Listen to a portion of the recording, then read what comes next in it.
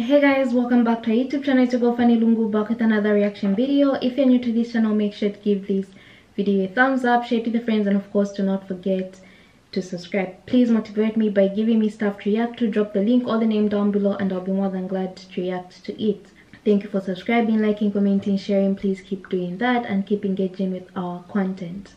So today I'm going to be reacting to Ahmed Deedat answer why not let God speak to us and we decide ourselves. So without wasting time, let's get into the video. I'd just like to make a suggestion and ask for your comment on it because I think we could argue till we're blue in the face about the, the bad points of what people who are called Christians have done in the past and the bad things that people who call themselves Muslim have done. We could sort of go backwards and forwards like a tennis match with that sort of thing. Um, also, but I mean, so that's that's to me. My suggestion is that you've got words in the Bible um, that you accept, like the prophecy that you attach to Muhammad, um, which is weird attached to the Holy Spirit. So another tennis match. No, it's the Holy Spirit. No, it's Muhammad. Um, and then um, you say about the major revisions being changed, but the Bible. I, I just want to ask you response to this. I'm not. I'm not a speaker, so it takes me a bit. To...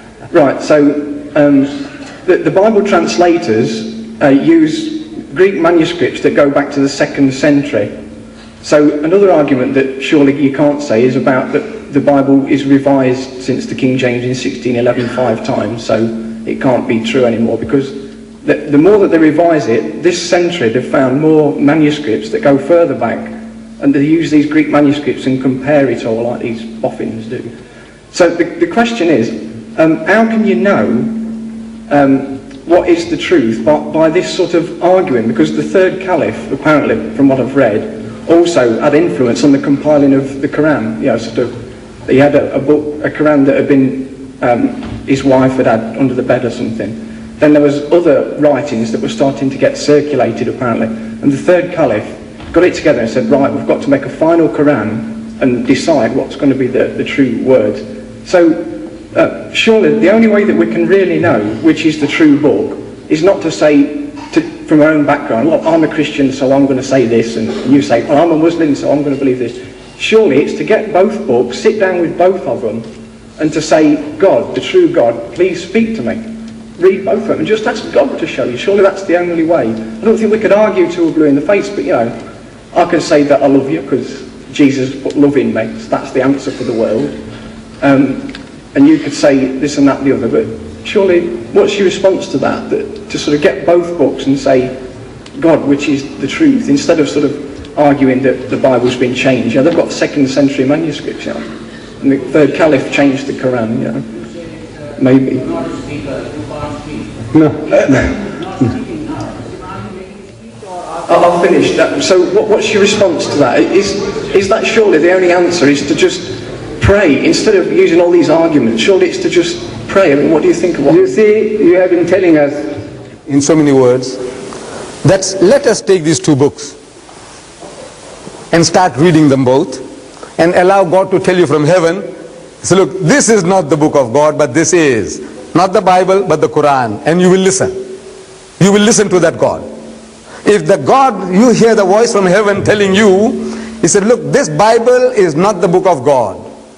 This is according to Bernard Shaw, your great man, George Bernard Shaw, you know the playwright. He said, this is the most dangerous book on earth. He said, keep it under lock and key. Your children must not have access to it. That's what he said, George Bernard Shaw. The Plain Truth magazine, you know, Christian magazine coming from America, seven to eight million a month free copies are being given out. They say that many a censor will give it an X rating. I don't want to go into all that. We went through all this on Sunday. But now, you know the guy who talks about God telling him.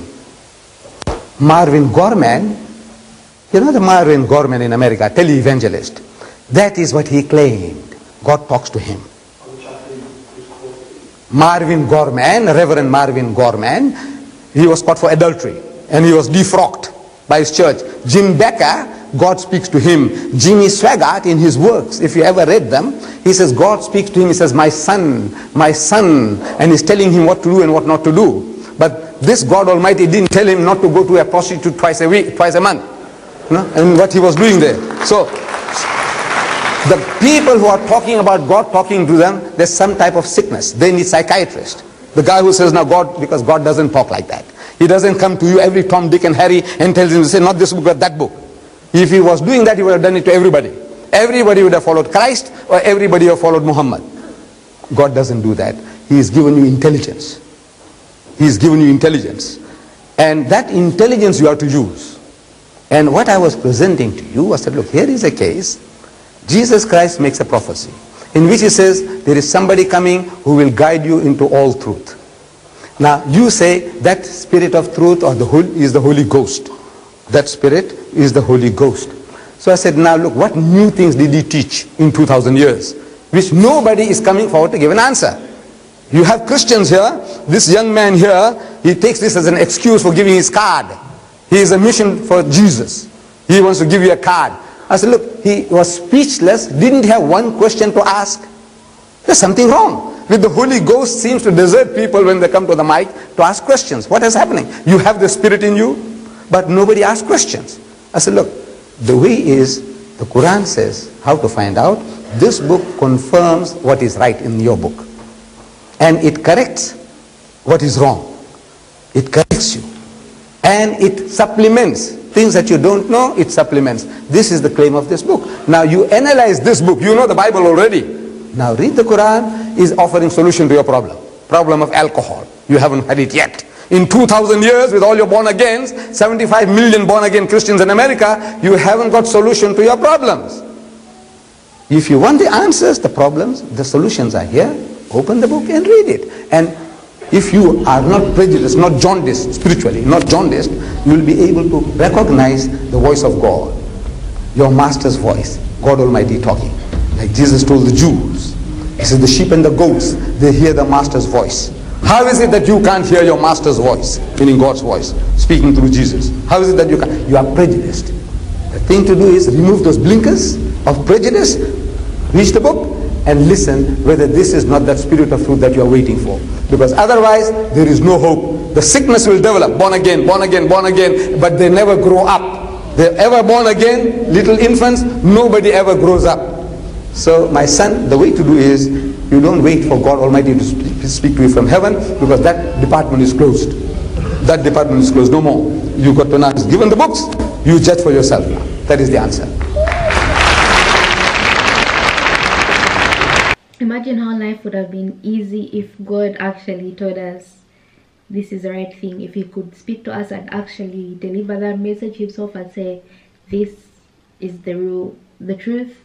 This is not, this is what you follow, this is what you should not. But then that's not the case. I love how um, Deedat says um, that's why we were given intelligence. The intelligence that we're supposed to use, but many of us don't use it's not all about sometimes we we grow up in spaces where they they believe in one thing and from that thing you don't want to open yourself up to other um, information don't be that person. Your brain was meant to be used you know. Figure out things. Go out into the world. Read on whatever you have to read on and see what you can do with that information. If it's going to change you then let it change you. If it's not going to change you there's no loss in reading something and it doesn't change you. But you get a better understanding of whatever it is. And um, I think it's a reasonable answer. And for that reason I feel like the video actually speaks for itself. Otherwise you know you can't have everything handed to you. Go out there research. Do your own research. No one is holding you no one is stopping you. Do your own research on your laptop on your phone on your whatever it is that you use to do your research. Do your research and see where that takes you and what you actually find out so that you can choose for yourself when you're old enough when you feel like you've gotten enough information you know?